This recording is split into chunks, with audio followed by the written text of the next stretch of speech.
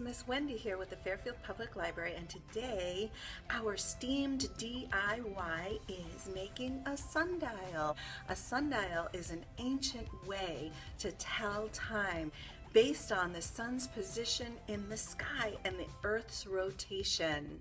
A lot of math and science went into making the most precise sundials, but today we are going to use a few simple everyday objects and make one of our own. Let's get started.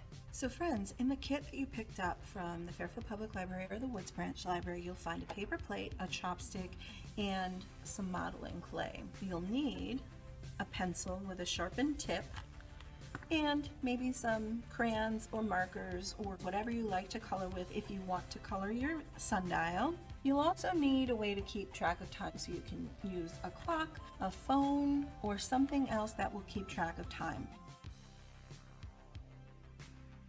So the first thing that we want to do is establish the center. And on this paper plate, if you can see, there is a smaller circle. And so we're just gonna use our pencil tip to put it right in the center and press down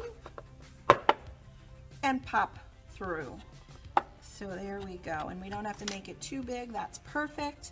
And now we're gonna put our chopstick through and we need something to hold that in place. So the clay that I gave you, uh, if you would break that into two, a smaller piece and a larger piece.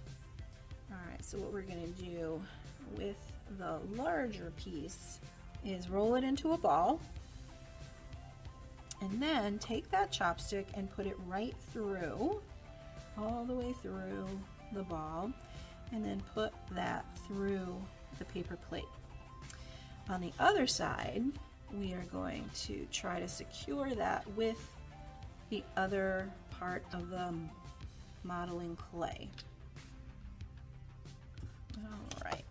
This is gonna hold your paper plate down once we bring it outside and keep it secure.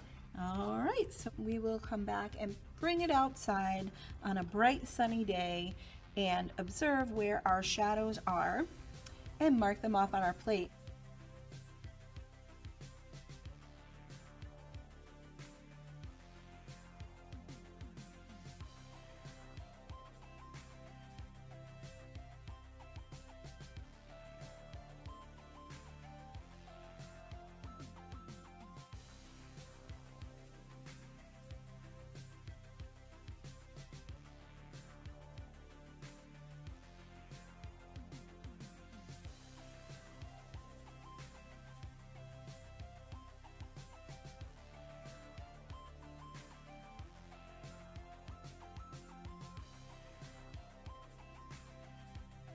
I hope you enjoyed making your sundial friends.